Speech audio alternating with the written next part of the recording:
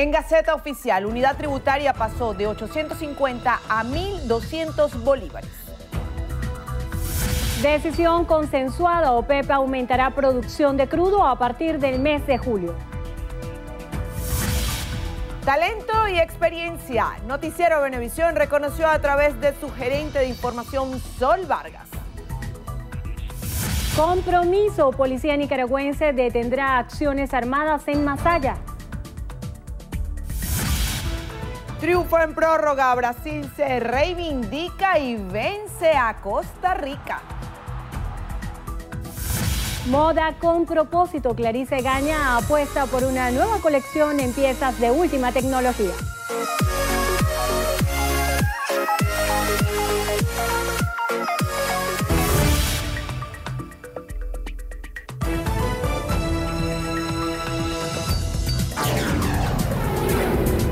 Noticiero Venevisión. Información justa y balanceada. Hola, ¿qué tal amigos? Bienvenidos a la emisión meridiana de su noticiero Venevisión. Muy buenas tardes, Venezuela. Les saludamos en nombre del equipo de noticiero Venevisión Milagro Zambrano y esta servidora Endrina Yepes. Comenzamos a revisar las informaciones y lo hacemos de inmediato. Delcy Rodríguez, vicepresidenta ejecutiva de la República, encabeza una reunión de trabajo con los gobernadores de oposición como parte del diálogo nacional con todos los sectores políticos destinado a desarrollar la economía. Lee Flores nos amplía. En la jornada de trabajo participaron los gobernadores Antonio Barreto Sira de Anzuategui, Alfredo Díaz de Nueva Esparta y Ramón Guevara de Mérida. El diálogo profundo, institucional, político, social, económico. Bueno, en esta reunión de trabajo hemos recibido proyectos para estos estados, hemos hablado un lenguaje institucional de convivencia entre competencias concurrentes tanto de estos estados como del Ejecutivo Nacional. Ahí está la voluntad del presidente Nicolás Maduro, de su gobierno, de avanzar juntos, todas y todos los venezolanos, por el bienestar, el bien común de los pueblos de estos tres estados mencionados. Hemos estado revisando áreas sensibles de servicios públicos, proyectos especiales para estos estados y que en general, bueno, tiene que ver con la atención que da el presidente Nicolás Maduro a todas las regiones del país, Destacó Delcy Rodríguez que continuarán trabajando por el desarrollo del país y por la protección del pueblo. Ayer el presidente de la República, como ustedes bien saben, dio un aumento significativo del 103% en el salario de los trabajadores, resguardar y proteger por siempre la capacidad adquisitiva de los trabajadores que pretende ser vulnerada por poderes fácticos, por poderes imperiales y por factores políticos ajenos al bienestar de nuestra patria. Enmarcado y enrutados en el bienestar del pueblo de Venezuela para desarrollar una economía diversificada. Bueno, hemos hablado y hemos ahondado también en proyectos económicos en estos estados. Ayer inauguramos la Expo Cogedes Potencia. Estuvimos hablando de lo que significa que cada estado aporte, desarrolle sus capacidades, desarrolle sus potencialidades para el bien del pueblo de la región, pero también para toda Venezuela. Delcy Rodríguez, vicepresidenta ejecutiva de la República, dijo que la reunión con los gobernadores de oposición se realiza en el marco de los seis lineamientos anunciados por Nicolás Maduro, presidente de la República, que incluyen la protección social, economía diversificada, diálogo y convivencia pacífica entre los actores políticos. Desde Carmelita Flores, Noticiero Venevisión. El eurodiputado del Partido Popular de España, Agustín Díaz eh, Mera, dirigirá una de las delegaciones que enviará el bloque a la frontera a partir del próximo 25 de junio. Esto para constatar el reto humanitario ante el éxodo masivo de venezolanos hacia Colombia y Brasil. Díaz Mera viajará con otros ocho eurodiputados de distintos grupos políticos para entrevistarse con representantes de ACNUR y la Cruz Roja, además de varias autoridades locales, incluido el alcalde de Cúcuta, César Omar Rojas, el gobernador de la región de Norte de Santander, William Villamizar, la canciller María Ángela Holguín y los ministros de Interior, Guillermo Rivera, y Defensa, Luis Carlos Villegas. Esta medida surge como una alternativa ante la negativa del gobierno venezolano de permitir la entrada al país de una misión de observación. Díaz Mera aseguró que continuarán desarrollando esfuerzos para ayudar a más de 900 mil venezolanos que se han desplazado a Colombia entre 2015 y 2017 como consecuencia de la crisis política, económica y social que aqueja al país. El gobierno nacional aumentó de 850 bolívares a 1.200 el valor de la unidad tributaria. La decisión fue publicada en la Gaceta Oficial número 41.423. El vicepresidente para Planificación, Ricardo Menéndez, indicó que con este aumento el bono de alimentación se ubica en 2.196.000 bolívares, según lo anunció el presidente de la República, Nicolás Maduro. Igualmente serán actualizados y adecuados los parámetros para el funcionamiento del Estado. Menéndez aseguró que con el aumento a 3 millones de bolívares del salario mínimo se inició una nueva fase de protección del ingreso de los trabajadores a fin de contrarrestar la denominada guerra económica.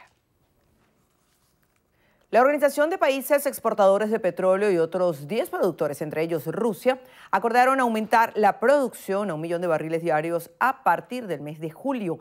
El ministro de Energía de Arabia Saudita, Khaled Al-Falih, anunció que la decisión se tomó durante una reunión ordinaria de la OPEP que se realizó en Viena con el objetivo de contribuir de manera significativa a satisfacer la demanda suplementaria para la segunda mitad del año. Indicó que la cifra sería llevada a la práctica de forma gradual y representa un aumento de unos 600 mil barriles y la medida se aprobó en medio de las solicitudes realizadas por Estados Unidos, China e India para que se tomen acciones que reduzcan los precios del barril y eviten una escasez de petróleo que podría afectar el panorama económico global.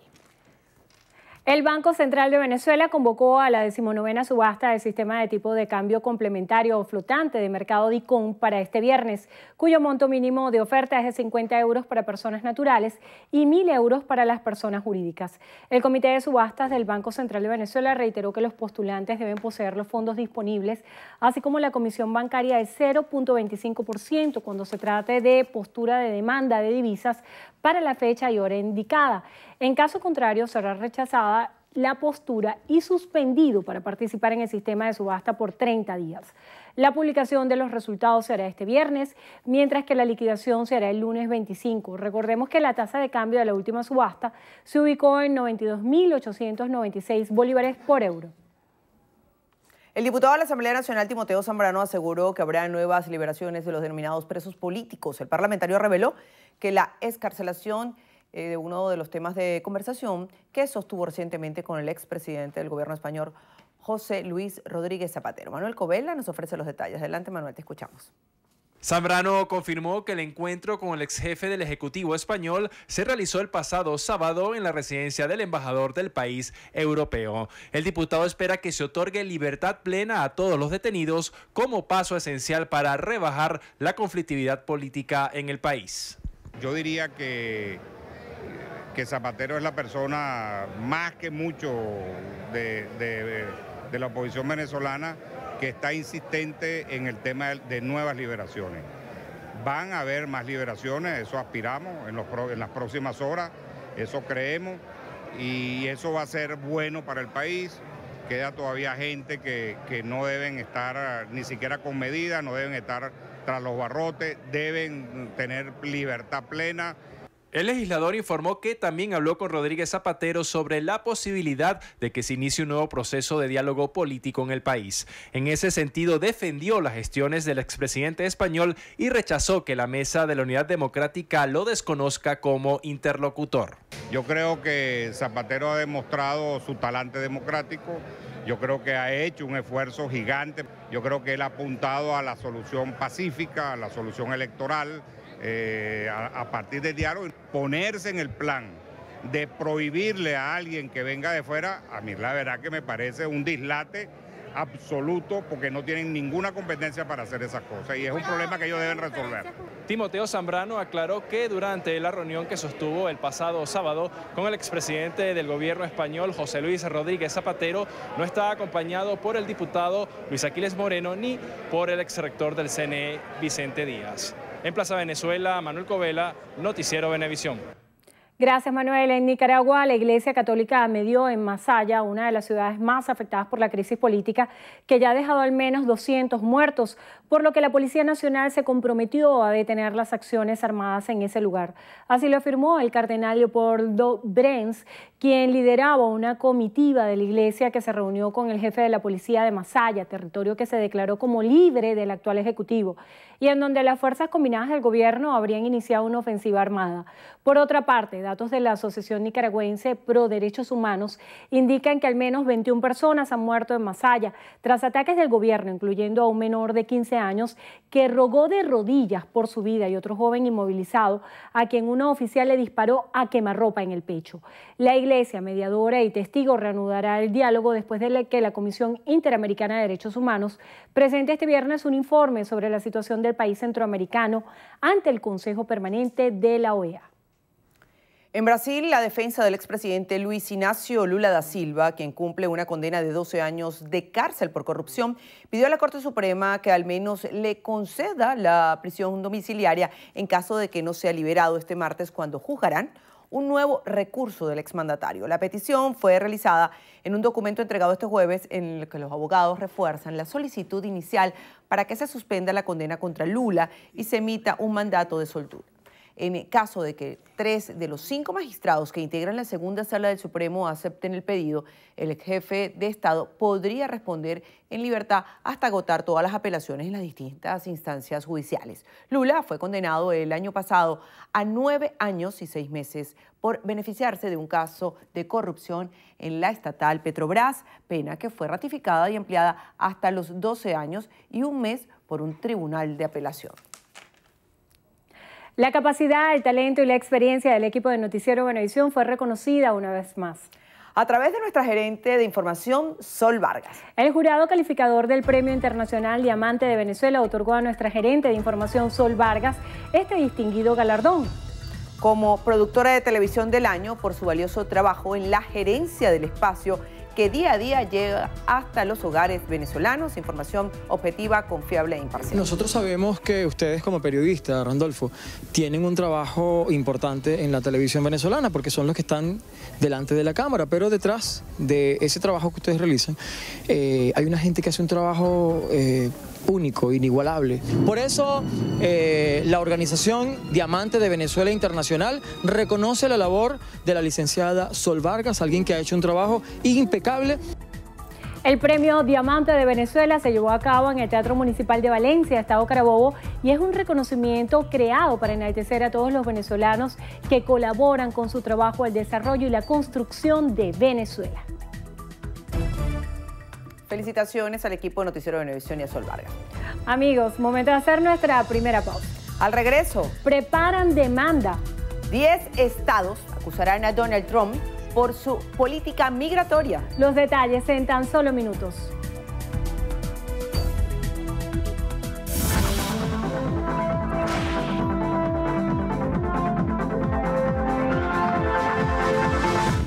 Zenaida de Duarte necesita con carácter de urgencia donantes de sangre ORH negativo quienes puedan colaborar, favor dirigirse a la clínica Vista Alegre. Las colaboraciones son gratuitas, no acepte realizar pago alguno. Un aporte más de Noticiero Televisión por Venezuela.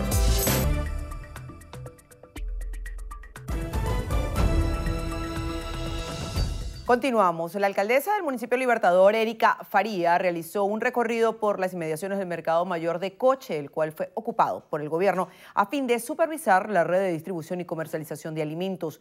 Acompañada de autoridades y funcionarios de la SUNDE y la SODIS, Faría reiteró que estos mercados han desarrollado estrategias expectativas que contribuyen a la guerra económica y que por ende a la crisis social del país. De igual forma anunció que se han erradicado algunos elementos relacionados con la delincuencia organizada. Faría sostuvo que de los 13 mercados municipales de Caracas, harán especial énfasis en los mercados de Coche, Quinta Crespo, Katia, San Martín y Huacaipuro para ponerlos al servicio del nuevo sistema de producción, distribución y comercialización. Esto como parte de la agenda económica del Gobierno Nacional.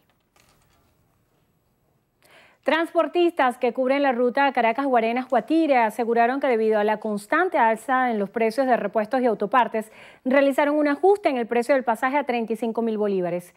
Asisclo Mora, directivo de la cooperativa mixta Caracas-Guarenas-Guatires, denunció especulación en los precios de insumos automotrices que han llevado al sector transporte al colapso. Esa es la única manera de medio sustituir, porque nosotros teníamos aquí 300 carros y si acaso habrán 70 carros operativos. Y de esos 70 te puedo garantizar que 20 están en el taller, otros estarán sin caucho, otros están por motor. Y los insumos, un liner key de un carro que costaba para hacerle un motor 60 millones de bolívares, ahora vale 10 veces, vale 600. Entre tanto, los usuarios del transporte público en esta zona del estado Miranda aseguraron que desde las 3 de la madrugada deben hacer colas por la falta de unidades que cubren la ruta entre Guarenas y Caracas. De verdad estamos sufriendo por el transporte todos los usuarios. Aquí se la pasan de las 4 de la mañana a 3 de la mañana la gente caminando toda la mañana, todas las tardes, todo el día. Entonces, ¿quién es, ¿quién es el que paga eso? Nosotros los usuarios. Tanto transportistas como ciudadanos coincidieron que debido al alza de los precios de repuesto, el más afectado es el usuario, por lo que solicitaron a las autoridades la venta de insumos a precios accesibles. El diputado de la Asamblea Nacional, Rafael Veloz, considera que el informe sobre Venezuela que presentó esta mañana el alto comisionado de los derechos humanos de la ONU supone un impulso para la administración de justicia en los casos de vulneración de los derechos fundamentales en el país. Manuel Covela nos ofrece los detalles. Sí, así es, gracias, buenas tardes. El diputado Rafael Veloz considera que el documento que hoy presentó el alto comisionado para los derechos humanos de la Organización de Estados Americanos refleja el compromiso de esa institución en velar por el cumplimiento del respeto a los derechos humanos en Venezuela. A continuación, palabras del parlamentario. El resultado de esta investigación y la, el envío de este expediente de la Comisión de Derechos Humanos de Naciones Unidas va a ser un empuje importante y un incentivo para que los organismos internacionales, que en ocasiones son lentos, podamos nosotros avanzar.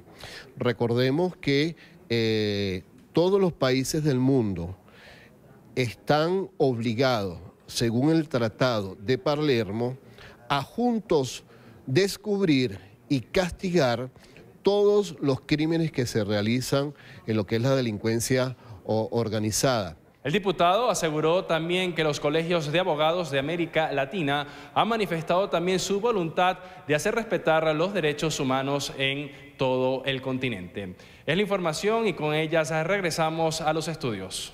Muchísimas gracias, Manuel. El gobernador del estado Miranda, Héctor Rodríguez, anunció que el próximo martes activará junto al ministro de Interior, Justicia y Paz, Néstor Reverol, 33 nuevos cuadrantes de paz en toda la entidad. Rodríguez exhortó a los 848 jefes de comunidad y más de 200 jefes de calle a que se vinculen a los cuadrantes de paz en una especie de fiscalización que garantice el funcionamiento de las zonas de seguridad en todas las comunidades. Asimismo, el mandatario regional señaló que los índices delictivos en la entidad han disminuido considerablemente gracias al fortalecimiento de la policía de Miranda y sostuvo que la entidad pasó de ser la más insegura a ocupar el octavo lugar. Exhortó a los funcionarios a redoblar los esfuerzos para continuar avanzando. La Junta Directiva de Trabajadores y Amigos de la Gran Familia de Benevisión sienten la sensible desaparición física de Ramón Solórzano, quien laboró en el canal 4 Benevisión durante 50 años, siendo su última posición la de vicepresidente de programación, cargo que ocupó hasta el año 2013.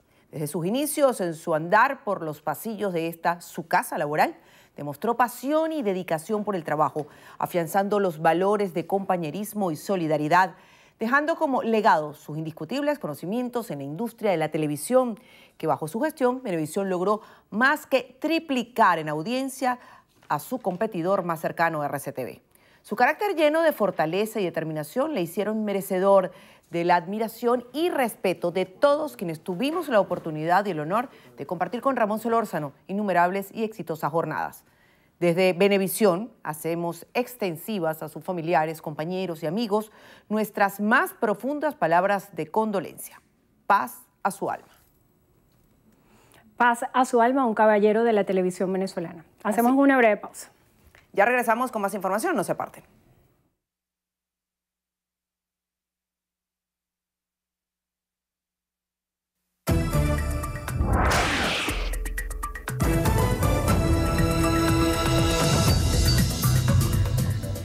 Iniciamos el eh, recorrido por las notas internacionales en lo que pasa en el mundo.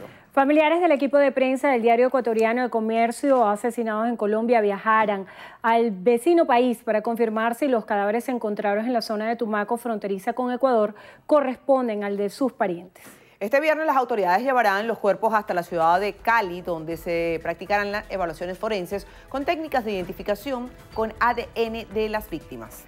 Se presume que el proceso tardará entre 24 y 48 horas, luego de lo cual será, se podrá conocer los resultados. En Brasil, la estatal petrolera Petrobras fue derrotada en un millonario proceso laborista en tribunales y en caso de que no poder revertir el resultado, tendrá que pagar unos 40.540 millones de dólares a sus empleados en salarios atrasados. La decisión beneficia a cerca de 59 mil empleados que alegan que la empresa no cumplió el acuerdo colectivo negociado en 2007 y que prevé pagos adicionales que nunca recibieron. La Unión Europea aplicará a partir de este viernes aranceles por valor de 2.800 millones de euros a una lista de productos procedentes de Estados Unidos. Los artículos afectados que ya fueron notificados a la Organización Mundial del Comercio incluyen el maíz dulce, el zumo de naranja o arándanos. Las medidas son respuestas a la decisión de Washington de grabar el aluminio y acero europeos con tarifas de 10 y 25%. En Estados Unidos, una coalición de 10 estados busca presentar una demanda contra el gobierno de Donald Trump por la política de separación de familias inmigrantes en la frontera con México.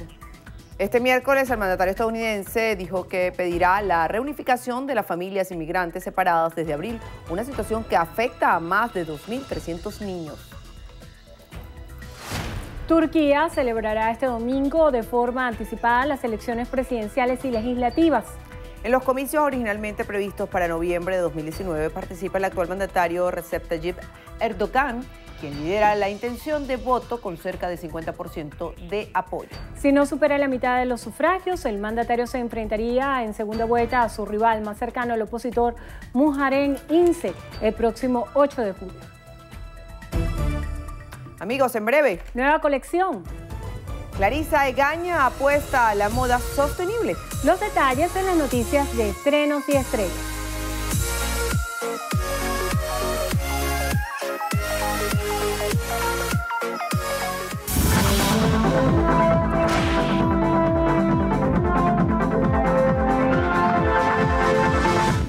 Carlos Marrero necesita con urgencia oxaliplatino en ampollas de 100 miligramos. Quienes puedan ayudar, favor comunicarse a los teléfonos 0412-600-1999 o al 0212-515-8853.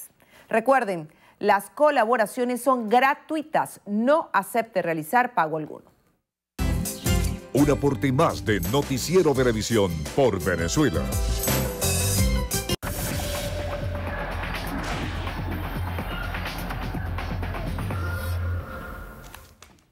Iniciamos los deportes con el triunfo de Brasil ante Costa Rica, dos goles por cero.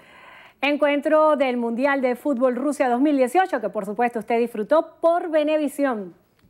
En el San Petersburgo, estadio en Brasil salió decidido a dejar atrás su empate contra Suiza en la primera jornada del torneo, pero no pudo batir al arquero Tico Keylor Navas, quien estuvo imperial bajo los postes.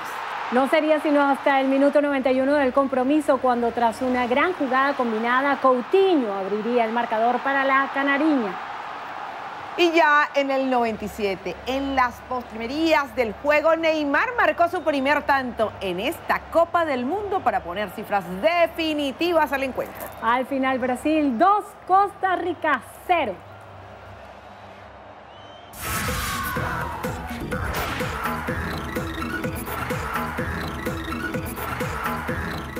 Iniciamos las noticias del mundo del espectáculo con la diseñadora de moda Clarice Gaña, quien anunció que su nueva colección viene con la más alta tecnología ambientalista.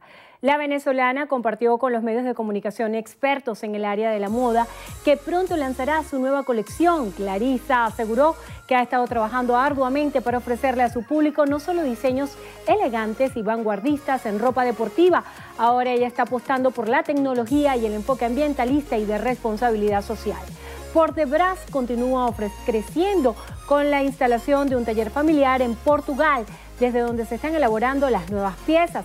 La aceptación de la primera colección le ha permitido ganar espacio en los mercados internacionales y estar disponible en las plataformas de venta digitales más importantes de la industria. A nivel internacional, pero lo que más me emociona contarte ahorita fue nuestra visita a Costa Rica. Estuvimos en una conferencia llamada el Omina Summit, donde, de que por cierto este, lo organiza una venezolana muy conocida en el mundo de la moda internacionalmente, se llama Carmen Busquet, junto con una cofundadora que ella tiene que es costarricense. Hicieron una conferencia espectacular donde hablaron no solo de moda sustentable, sino de estilo de vida sustentable. Y es un tema que obviamente nos encanta, nos fascina porque nos sentimos muy identificados con estas prácticas, donde lo que queremos es involucrar a la sociedad, queremos involucrar el bienestar ecológico, el bienestar del medio ambiente dentro de lo que son nuestras prácticas de producción. Desde los materiales, que ya eso sería como lo más importante que vas a tomar en cuenta cuando quieres convertirte en una marca ecológica o sustentable.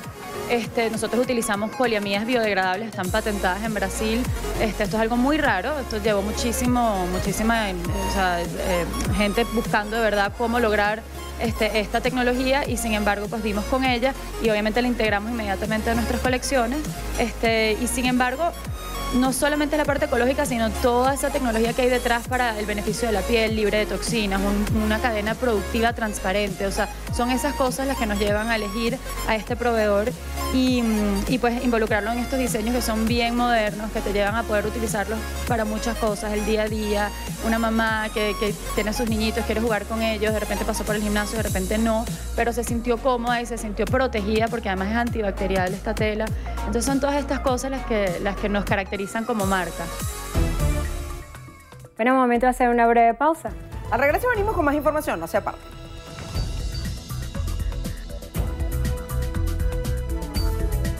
Entrevista Venevisión.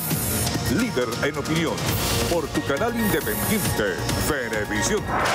Muchísimas gracias por acompañarnos en Entrevista Benevisión. Ya estamos listos para iniciar nuestra conversación con el invitado del día de hoy.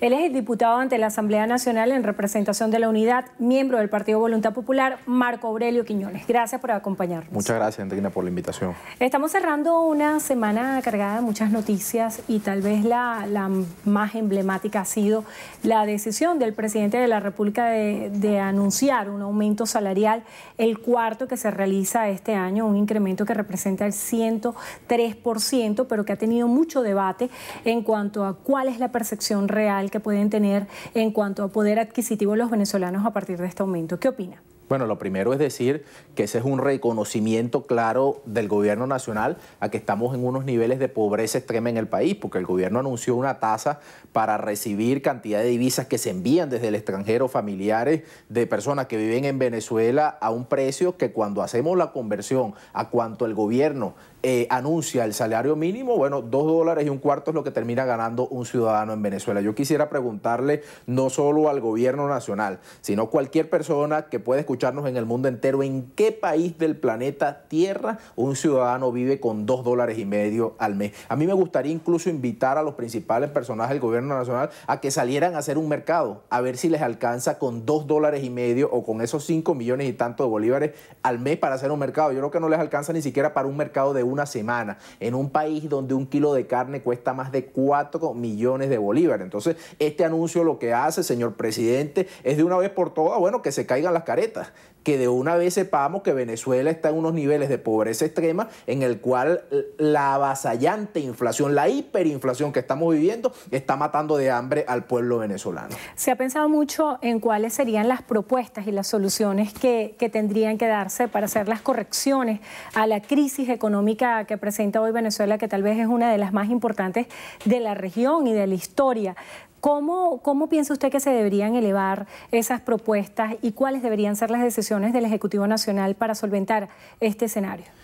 Un cambio de modelo sin duda alguna, lo hemos anunciado. El modelo de expropiaciones acabó con Venezuela. En Venezuela se importa más del 90% de los productos que se consumen. Aquella famosa cadena Expropiasi lo que hizo fue que más de 7.000 empresas se expropiaron en Venezuela y otras 5.000 se fueron por temor a ser expropiadas, donde Venezuela produce prácticamente nada. Donde uno llega en cualquier parte del mundo, yo como miembro de la Comisión de Política Exterior me ha tocado estar de gira en algunos países denunciando cosas que pasan en Venezuela, pero sobre todo consiguiendo apoyo para la presión internacional para la apertura del canal humanitario, donde uno quiere que llega, se habla de Venezuela como un país petrolero. ¿Cómo puede ser un país petrolero, el país que tiene las reservas petroleras más grandes del mundo, pero que hoy no llega ni siquiera a dos millones de barriles la producción petrolera porque aniquilaron a PDVSA, aniquilaron la producción nacional, la producción petrolera es risible. Hoy nosotros pasamos a ser un miro más en la OPEP porque cuando hablamos de los estándares de producción mundial, hay países debatiéndose la posibilidad de producir todo lo que nosotros no estamos produciendo y por eso es que el venezolano se está muriendo de hambre. Hoy el venezolano que no tiene con qué comer, hoy el venezolano que a esta hora ni siquiera tiene la posibilidad de soñar con un almuerzo,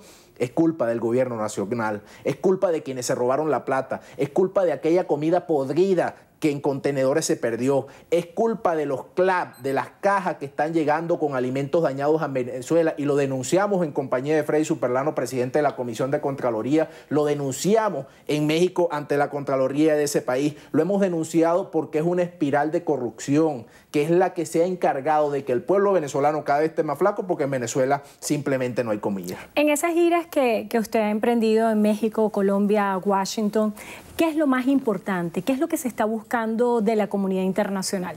Bueno, las presiones para que se aperture de una vez por todo el canal humanitario. Venezuela se está muriendo de hambre. A mí me tocó estar en compañía de otros colegas parlamentarios en la frontera con Colombia. En Trina es una escena de dolor lo que ahí se vive es un llanto colectivo. Son miles y miles de venezolanos más que caminando como ciudadanos, caminando como zombies. Es un llanto colectivo. No hay pañuelo tan grande que pueda secar ese llanto de miles y miles de venezolanos saliendo de este país, dejando a su familia. En Argentina cada 20 minutos entra un venezolano, pero ese venezolano no se va y deja a Venezuela olvidada, porque cuando uno se los consigue y se reúne con la diáspora venezolana afuera, lo primero que dicen es, diputado, ¿cuándo van a cambiar las cosas en Venezuela para que nosotros nosotros regresemos. Hoy el ciudadano que queda en Venezuela, la gran mayoría de esos 5 millones que se fueron, viven de lo poco que le logra mandar un familiar de afuera para no morirse de hambre en este país. Es por eso que las sanciones que a nivel mundial los principales organismos internacionales han anunciado es en función precisamente de perseguir esos capitales que se han robado de Venezuela, esos capitales que le robaron el desayuno, el almuerzo y la cena al venezolano, esos capitales que entraron a nuestro Estado y que en vez de invertirse en producción nacional, en vez de invertirse en salud, lo que hicieron fue irse a depositar en las cuentas de unos señores que a través de unas empresas de maletín y otras que no eran de maletín, que actuaban y que sobrefracturaban cosas que hacían en el país, hoy depositan esos dineros en bancos en los principales países del mundo y es por eso es que, en que, es que no han sido débiles las sanciones contra estos señores. Han, han habido unos anuncios, unos anuncios importantes de gente vinculada a hechos de corrupción, porque nadie puede creer que en los países que nos rodean tú puedes llegar de la noche a la mañana con un maletín lleno de millones de dólares y nadie te va a preguntar de dónde viene ese dinero. Se habría anunciado que de resultar reelecto Nicolás Maduro como presidente se iba a agudizar el tema de las sanciones. ¿Qué está previsto para los próximos días? Bueno, esas son decisiones internacionales.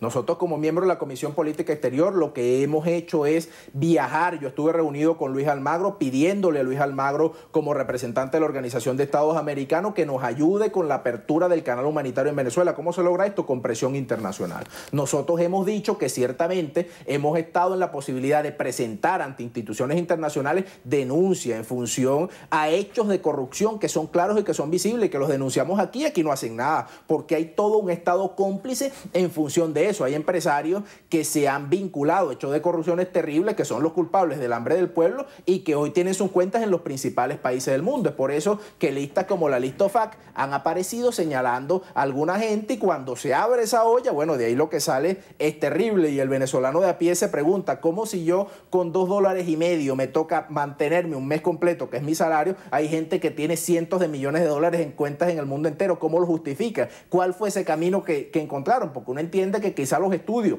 es un sistema de ascenso social, la gente busca estudiar para tener mejor calidad de vida, para sacar a su familia de la pobreza, pero de la noche a la mañana, una gente que andaba con el estómago pegado al espinazo, ahora son los más ricos del continente, bueno, nadie tiene cómo dar una explicación y a lo mejor en Venezuela, que manejan el Estado a sus anchas, pueden tratar de tapar esa realidad, pero en el mundo no.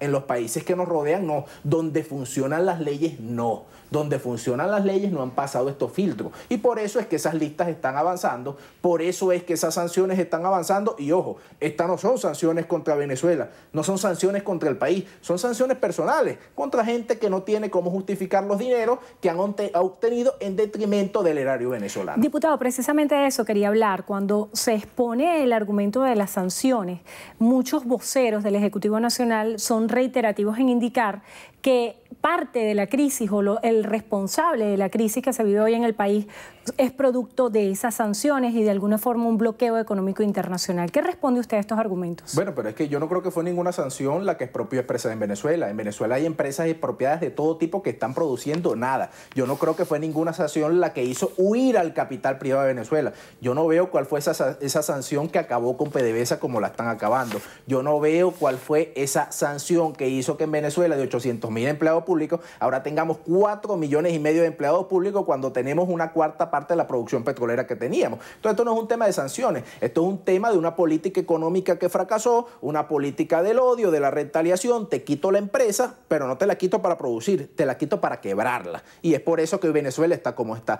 Miren, Trina, todos los dineros que están mal habidos en el mundo entero repartidos, como salen cada momento en Ginebra y anuncian en los principales tribunales del mundo, todos esos dineros son los que hacen falta para que aquí se levanten los hospitales. Ahí está el hospital Luis Racetti en el estado de Anzuategui, en lo último de la decidia, le faltan muchísimos cosas. ¿Por qué? Bueno, porque el gobierno nacional no tiene cómo meterle en la mano producto de que ellos mismos quebraron ese Estado. Distinto es las posiciones de quienes ostentan el poder es muy distinto a las posiciones del Estado venezolano que está quebrado sin duda alguna, porque ellos se han encargado precisamente de aniquilar lo que produce. Ningún país gana sin producir. Mira, cuando tú estudias la ecuación del Producto Interno Bruto, que es una ecuación larguísima, al final te hace una discriminación cuando tú restas las exportaciones menos las importaciones. ¿Qué exportamos aquí?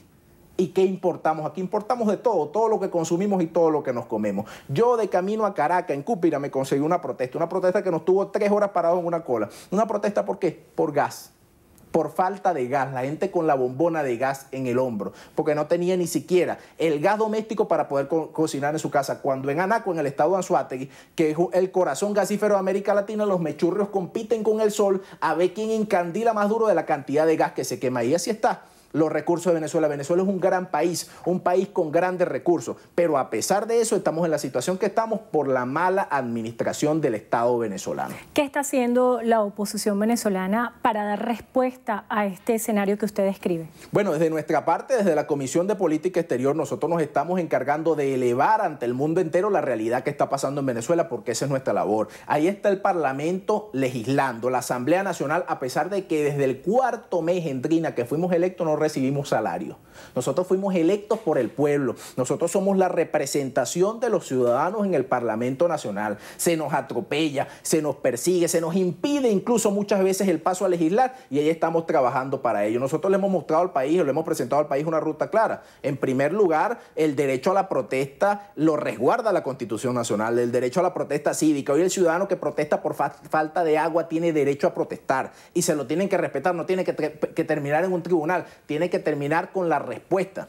Asimismo, le hemos dicho al país que la presión internacional va de la mano, porque el mundo entero no se cala un modelo político que se aleje de la democracia, de los principios básicos de la, de la democracia. Pero además de eso, el éxodo, más de 5 millones de venezolanos ocupando todos los países que nos rodean, es un problema no solo para Venezuela, sino para toda la región. También ha habido un anuncio esta semana en relación a la Asamblea Nacional Constituyente. Con la salida de Delcy Rodríguez a ocupar el cargo de vicepresidenta de la República, se designa Diosdado Cabello como presidente de la Asamblea Nacional Constituyente. ¿Cuáles pudieran ser las señales a partir de este anuncio? Bueno, eso para nosotros, más que un anuncio de una Asamblea Nacional Constituyente, es un anuncio del partido de gobierno. Eso fue una reunión del PSV, pues todas las personas que están ahí son del PSV y escogieron al nuevo jefe de una fracción del PSV. Más nada, nosotros no reconocemos esa Asamblea Nacional Constituyente no como un capricho, no lo reconocemos porque aquí salió Smartmatic, que es la empresa de las máquinas, diciendo que ahí hubo fraude. No fuimos nosotros quienes lo dijimos. Dieron una rueda de prensa, lo anunciaron así frente al país. Entonces fue un nuevo reacomodo del gobierno. ¿Qué le dice eso al ciudadano de a pie? Cuando uno ve que cambia un, un, ministro de un ministerio para otro, ¿qué le dice eso al ciudadano de pie? No es que tal persona